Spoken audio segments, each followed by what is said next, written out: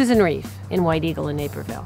I'm Mike with CAT Contracting. I'm the one that has replaced the roof on Mrs. Reeves' home. I wasn't going to call anybody initially because I didn't think that, you know, I would be covered. Um, I've been doing a lot of work in the neighborhood uh, due to storm damage. Mike was pretty proactive. He came to the door and asked me if I would let him take a look at the roof. Uh, I got up there, noticed the shingles were missing as well as some decent hail damage to the property.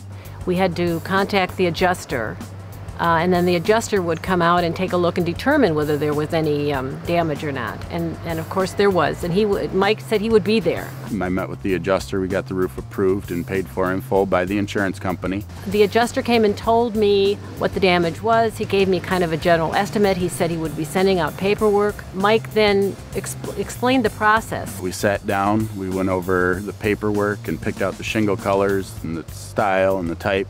Well, Mike had told me that, that he would call it we schedule it in about two weeks. So it was. It was two weeks when he called, and my sister was visiting, and she's in the bedroom upstairs underneath the roof.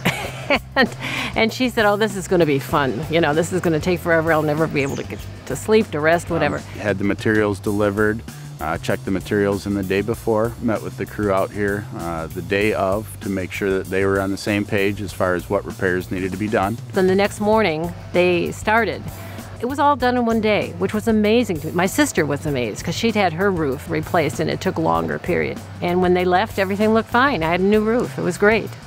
Once the job was completed, I did a full walk around with Mrs. Reeves to make sure that there were no nails left behind and nothing was overlooked on the job. I have a little dog, so they made sure that there were no nails or anything in the ground.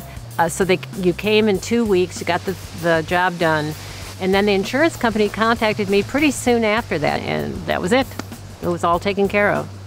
Once the work was complete and we and she was completely satisfied, we signed a certificate of completion, basically stating that the work was done and she was happy um, to send to the insurance company to release the depreciation on the claim.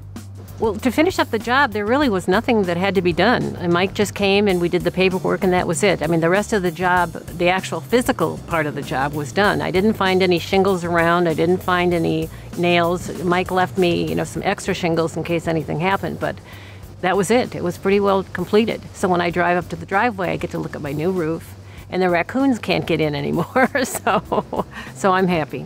If I have to do the job again, and I hope I don't, I would choose CAT, and that's probably because of the process was very simple. I was informed along the whole way, and I'm happy with the job.